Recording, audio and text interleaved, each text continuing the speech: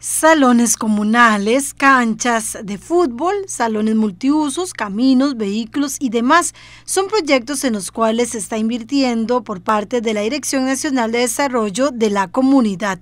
Durante la administración de Carlos Alvarado en la región Brunca se espera una inversión de más de 2.200 millones de colones en este rubro. Precisamente esta semana, el director de INAECO, Franklin Corella, realizó una gira por la zona sur con el fin de realizar la inauguración de varias obras importantes.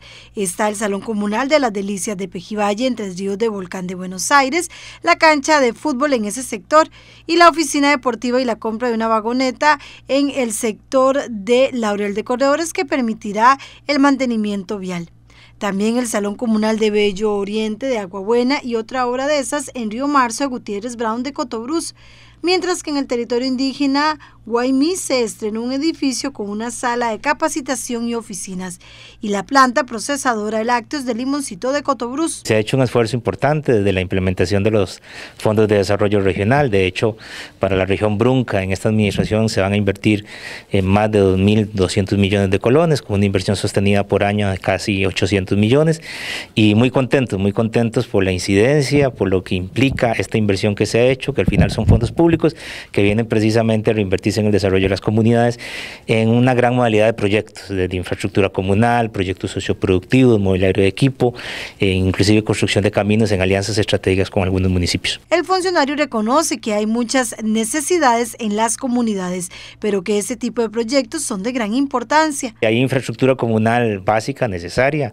La región Brunca es una región muy grande, también con muchas comunidades muy alejadas y requieren desde construcción de salones comunales, adquirir terrenos para la construcción de los mismos salones o equipar o mejoras en el mismo, en, el mismo salón. También hay proyectos socioproductivos, eh, como en el caso de Laurel, que es precisamente todo un equipo de maquinaria pesada, en este caso en una vagoneta, para que puedan desarrollar y vender servicios tanto a los municipios como la Comisión Nacional de Emergencias o inclusive al sector privado.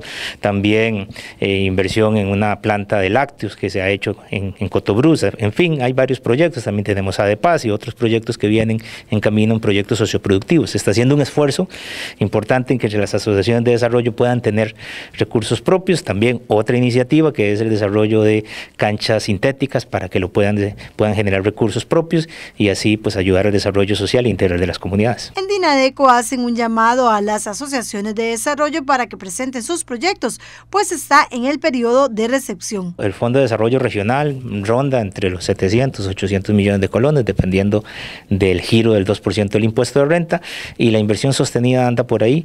De hecho, para el presupuesto del próximo año mandaría alrededor de unos 830 millones, eh, que aprovecho también para invitar a las asociaciones de desarrollo que presenten los proyectos. Estamos en un periodo de recepción, precisamente de septiembre al 15 de diciembre, así que presenten las iniciativas, coordinen con los promotores de Denadeco y con la dirección regional y presenten sus proyectos, ojalá con un enfoque socioproductivo que venga a generar ingresos extras a la Asociación de Desarrollo. Las obras continúan y esperan que más comunidades estrenen proyectos.